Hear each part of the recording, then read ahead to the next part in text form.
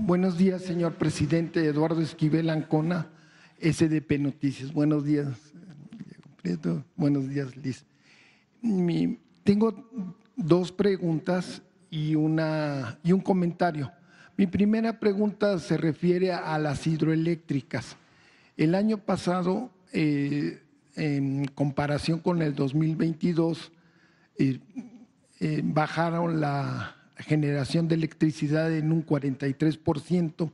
Estas eh, eh, pl- plantas de, que son muy importantes eh, cuando tuvieron la crisis en Texas, pues la electricidad que se mandó era la de las hidroeléctricas y bueno, esto es, el año pasado bajó la generación de electricidad por las sequías, ¿no?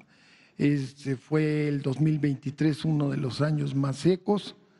Este año pues todavía no caen las lluvias, pero según los científicos viene el fenómeno de la niña en unos, en unos días y va a haber muchas, lluvias y este, sobre todo en el sur sureste, donde están las más importantes eh, este, hidroeléctricas. En- a mí me llamó mucho la atención que en la discusión electoral, eh, ahora que, la que acaba de terminar, nadie habló de, este, de estas hidroeléctricas que, que son tan importantes, de esta generación de electricidad. Y yo le quisiera preguntar así, este, ¿va a hablar con la presidenta de este tema y si considera usted que fue una buena apuesta eh, eh, las hidroeléctricas, que las hidroeléctricas sean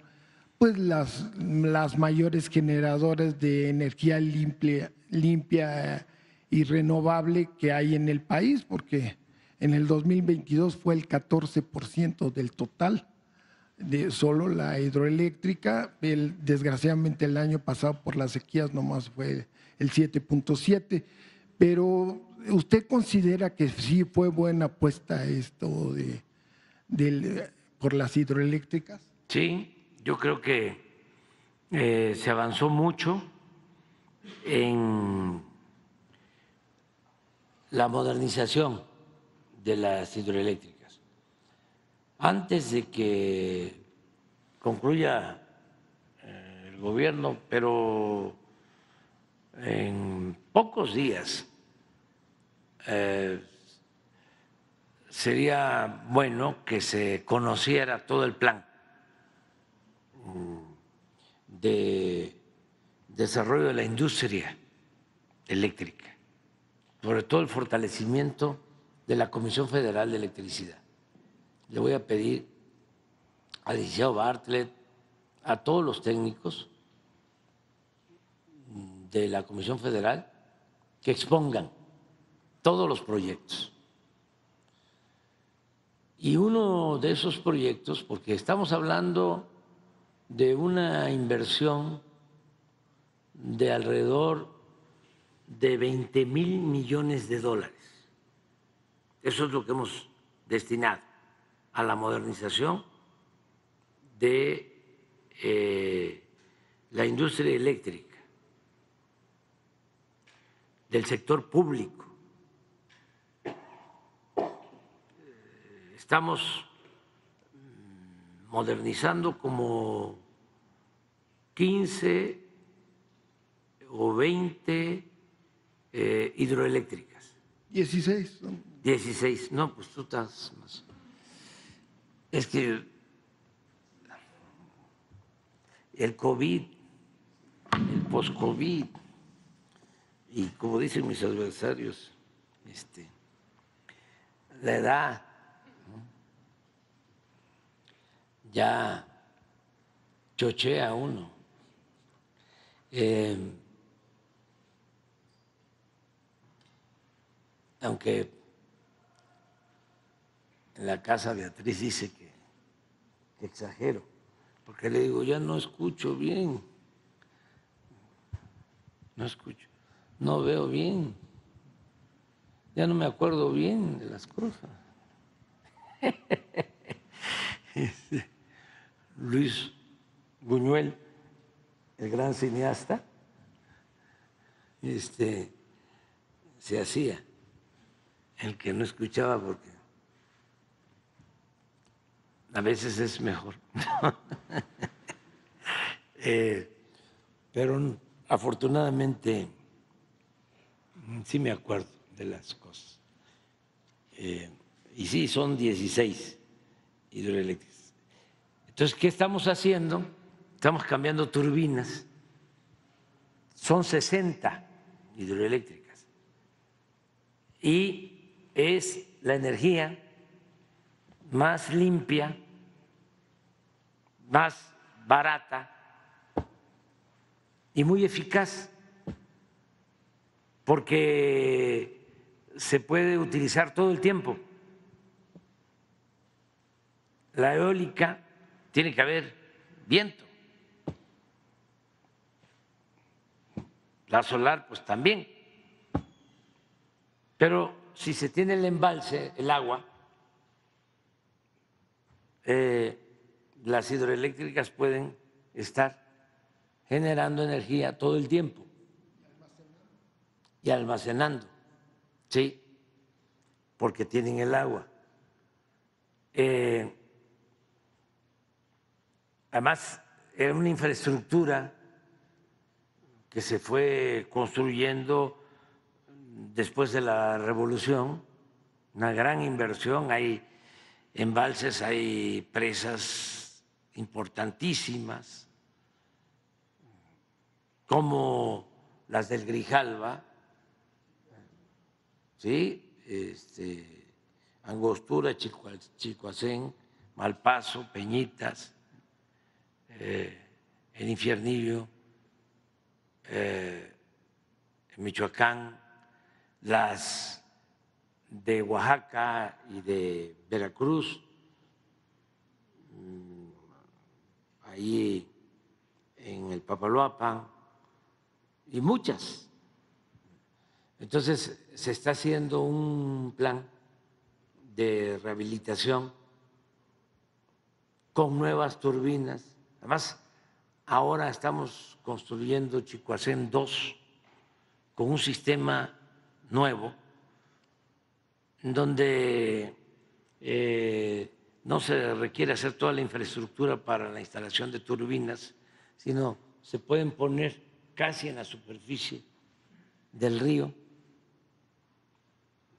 Eh, no se necesita el embalse, va pasando el agua, son como eh, turbinas flotantes y van generando energía. Todo eso lo estamos aplicando. Eh, y sí se usaron ahora.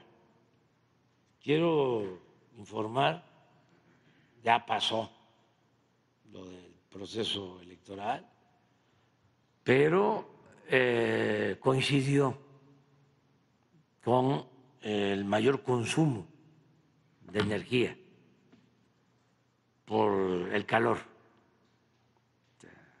Ya está pasando. Pero cuando subió más la temperatura y hubo más consumo, fue precisamente en los 20 días o el mes anterior a la elección.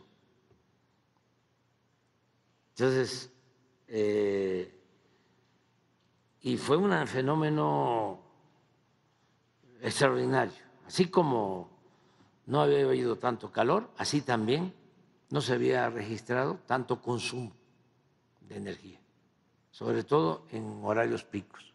Entonces solo tuvimos tres momentos difíciles, tres días.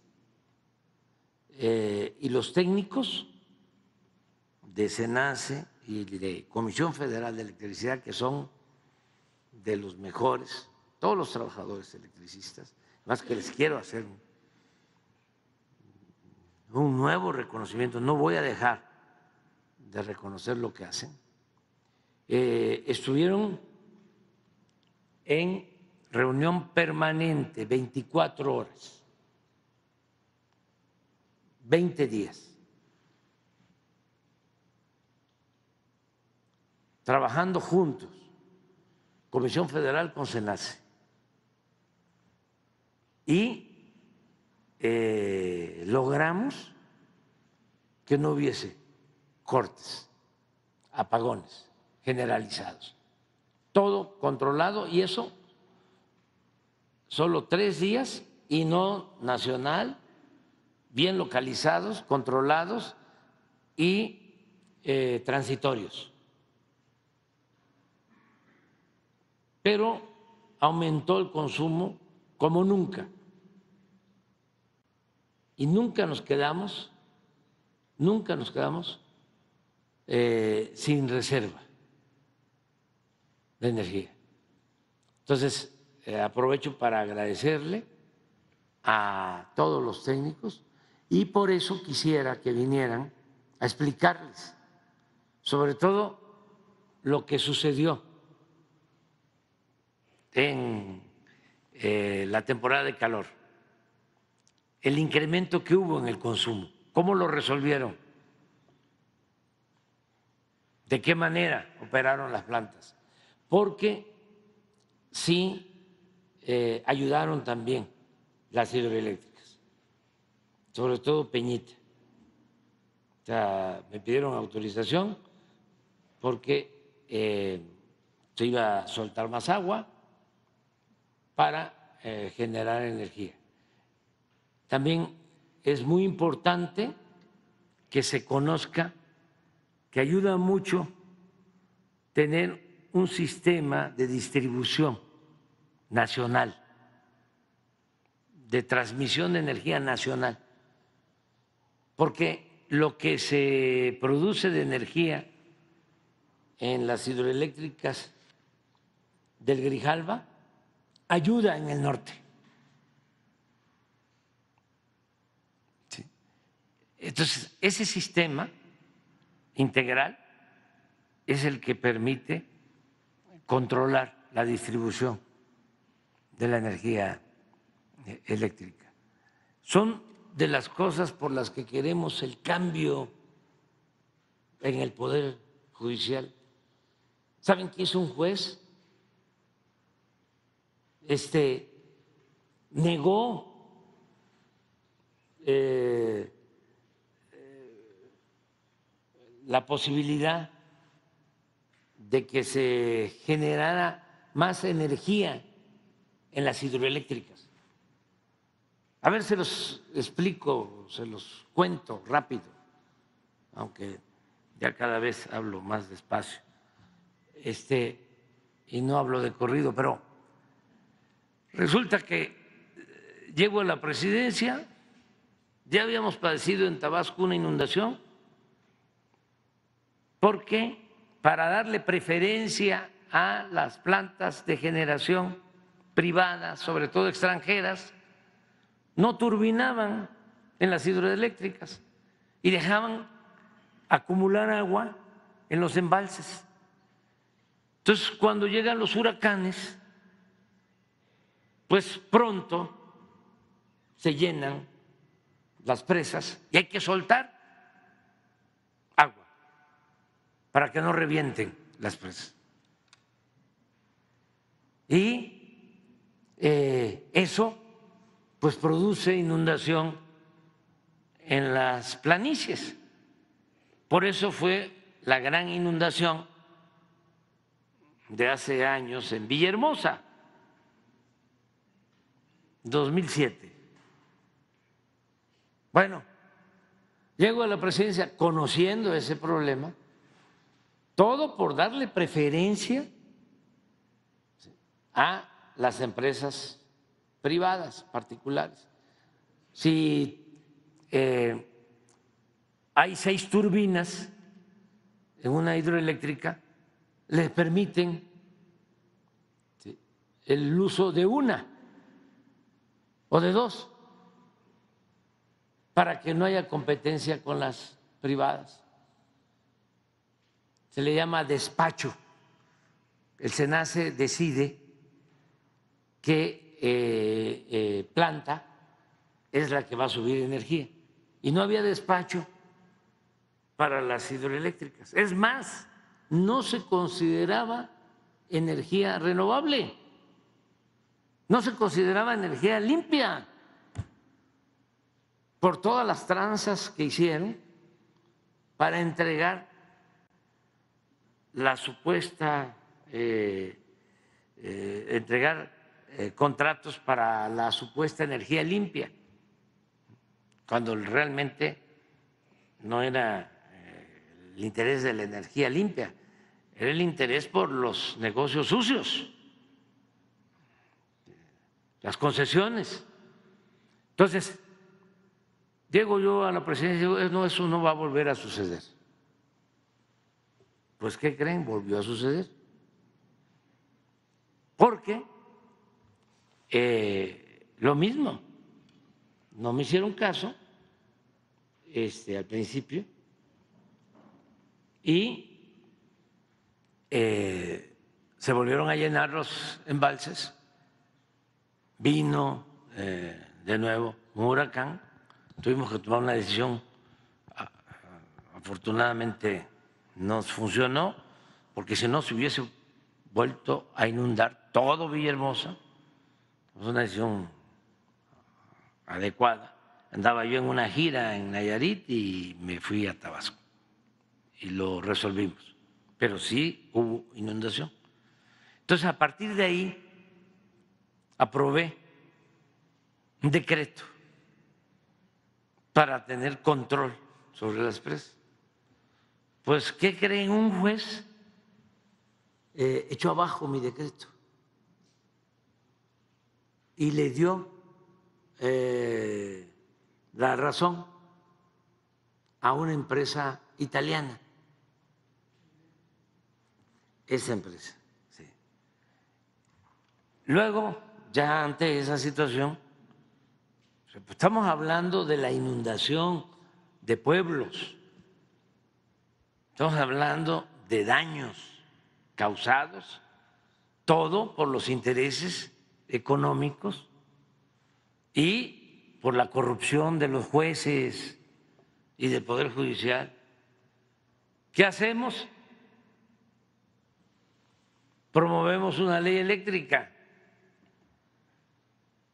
¿Qué sucede? Un ministro, dos, dos ministros la cancelan porque no se siguieron los procedimientos adecuados en la Cámara de Diputados. O sea, dos ministros cancelan la ley eléctrica para beneficio del pueblo eh, favorecer al mismo tiempo a una empresa extranjera, a varias empresas extranjeras, una ley aprobada por la Cámara de Diputados y por la Cámara de Senadores. Entonces, ¿cómo quieren que no cambiemos eso. ¿Cómo es que defienden eso? Y este, de manera hipócrita, ¿no? Hablando de Estado de Derecho, que les preocupa mucho que haya contrapesos, que haya equilibrios, la división de poderes. Mire, ando buscando al tonto que se los crea. Eh, eh, ellos actúan en función de intereses, del dinero, no les importa el pueblo. Por eso vamos a seguir buscando el que se lleve a cabo la, la reforma. Y Claudia, me preguntabas algo. Sí, de que es-